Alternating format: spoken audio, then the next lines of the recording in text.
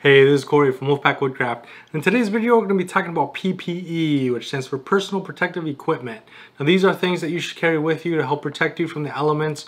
Uh, when I go camping and I'm in the woods, these are things that I almost always bring with me. I always use them. And so when I have them, I'm always glad that I have them. When I don't have them, I wish I did. And the first thing I want to talk about is gloves. Now, I like the leather mechanics gloves. Uh, they help tremendously when you're dealing with something hot. So if I'm going to take a hot pot or pan off the fire or the stove, these will prevent me from getting burnt. Uh, if I'm dealing with hot logs, I can grab a hot log without having to worry about getting burnt. So I really like the leather gloves. Uh, the other advantage to having a good set of gloves is you can collect firewood and you don't have to worry about sticks and branches poking into your hand. One of the things that I hate the most is when you're collecting firewood and you got the little twigs and one of them goes underneath and stabs under your fingernail. I hate that. And uh, having a good pair of gloves can prevent that from happening. Another thing is it improves your grip. So if you're sawing or using your axe or knife, it will improve your grip and allow you to have more control over whatever it is you're doing. And so there's a lot of advantages to having a good set of gloves. Again, I like the leather ones, but if you're gonna use regular mechanics gloves, these work really well. I like using these ones around the house, but they will melt. So if you touch something hot, they'll melt. I have a pair here where the uh, yeah, the finger, I touched something hot and the fingertip melted to my finger. And then over here, it was hot too. And then that melted to my finger and the glove itself melted to my finger and just kept burning me. And so keep that in mind. Understand the limitations of your gloves. Uh, a lot of people like these cut resistant gloves. Again, these work really well. They improve your grip. They help collect firewood and make sure that nothing pokes you or scratches you. Uh, these are really nice gloves, but again, you're not going to be touching anything hot with these. Uh, another thing that I wanted to mention, I like these wristies. So at, well, during the fall and the spring, can get cold. Even in the summer at night, it can get kind of cold. This is just an easy way to keep your hands warm. They're actually made for people that play violin and string instruments so that they can feel the strings. But because they're so minimal, they you can put on a normal pair of gloves over the top of them real easy. And so the wristies keep your hand warm. When your wrist is warm, your hand is warm. And so with these, I can easily put on a pair of gloves over the top. So even these, these are tight fitting gloves. I can put these on because the wristies are so minimal even these fit and I can still do work and I can still feel everything just like I would if I just had the gloves on themselves. So I really like these wristies and I wanted to mention them because I don't hear a lot of people talking about them. So I wanted to share that with you. I will leave links in the description box down below. Those are affiliate links. They help me at no extra cost to you. But it's just so that you guys can get an understanding of what this is and you can find what it is I'm talking about. Uh, next is footwear.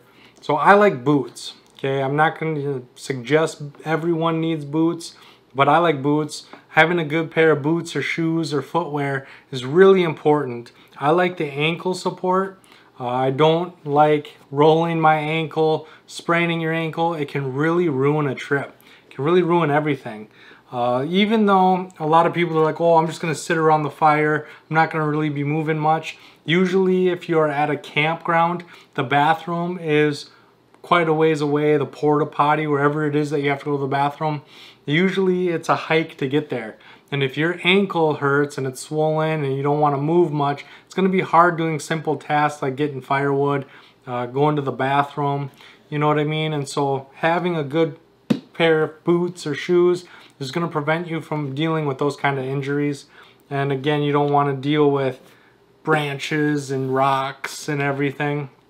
So uh, flip-flops, you usually don't want to wear flip-flops because a rock will get in there and then you step on that sharp rock. Uh, sandals in general, I don't really like wearing sandals in general because again rocks and dirt and sand get inside of them and they make your feet really uncomfortable. I like having shoes or boots. Uh, next is bug spray and sunblock. Now I did a video all about bug spray and how I use bug protection. I will link that in the description box down below as well. And then sunblock. Make sure you bring plenty of sunblock. I know this is a little thing, but this is just for me personally. And this is something that you're going to constantly be reapplying. Uh, you're going to go swimming, you're going to have to reapply it. Uh, if you're sweating a lot, you're going to have to reapply it. Uh, sunburn sucks, okay? And the worst part about sunburn isn't getting it. Usually if you get it, yeah, it sucks, it kind of hurts. But then spending the whole next day in the hot sun with sunburn, that's when it gets miserable, okay? And so being able to use sunblock, reapply it, make sure that you have enough so that you don't end up fully sunburned and then having to live with the sunburn on another hot sunny day is really important. Again, the bugs, you don't want the bugs driving you crazy. And so having bug spray and sunblock, very important. Uh, next is a hat. I always wear a hat. keeps the sun out of my face. It keeps the bugs out of my hair. Uh, it keeps the sun from burning the top of my head. Some people like the brims that go all the way around because it keeps the sun off the back of their neck. I like the brim that goes all the way around when I'm using a head net because when I'm using a head net without a hat, the net tickles my ears and the back of my neck and I'm not a very big fan of that. But also the bugs will chew through it. They don't chew through it, but they'll bite through the mesh. So if it's touching you, they can still bite you. So if the brim goes all the way around and creates space, the bugs don't have access to your face and your neck and everything. And so if I'm using a bug net, I'll put this on and I'll combo these together. But I always, if you've been watching my channel, you know I always wear a hat. And so having a good hat is important to me at least. Uh, another thing is eye protection. So sunglasses, uh, safety glasses. The thing that I like about safety glasses is when I'm going through thick brush. Okay, if the woods are just thick and there's branches, I like putting my safety glasses on so I can just trek through and I don't have to worry about a stick hitting me in my eye as I'm trudging through the woods. And so if I'm going to be going through thick brush, I bring clear safety glasses because even when it's sunny, when you're in that thick brush, it gets dark, right? The canopy and all the leaves and everything kind of block the sun. And so having a clear pair of glasses, even if it's going to be mid-afternoon, is really important to me anyway because again, I can accomplish those things. Uh, if I'm going to be chopping wood, putting the safety glasses on, uh, there's a video of me reviewing the Vengeful One and I'm chopping a piece of wood and a piece flies up and hits me in the face. And luckily it didn't hit me in the eye, but I should have been wearing safety glasses to prevent that from even being a possibility. And so there's a lot of advantages to wearing sunglasses and safety glasses. And so that's something that I don't carry with me as much as I should, but I really should start carrying them more often and definitely using them a lot more often. Uh, next is a rain poncho or a rain jacket, rain pants, uh, rain gear in general. Uh, a lot of people they get to camp and they're like, if it rains, I'm just going to spend the whole day in my tent anyway. Again, yeah, you're going to spend the whole day in your tent, but eventually you're going to have to go to the bathroom. And you're not going to go to the bathroom inside your tent. You're going to have to leave your tent to go use the bathroom. You're going to have to make dinner at some point, and so you're going to have to leave your tent to go make dinner. And so having a poncho or a rain jacket or some kind of rain gear is really important. Uh, I bring a poncho or a rain jacket with me almost every single trip. It also makes a good windbreaker.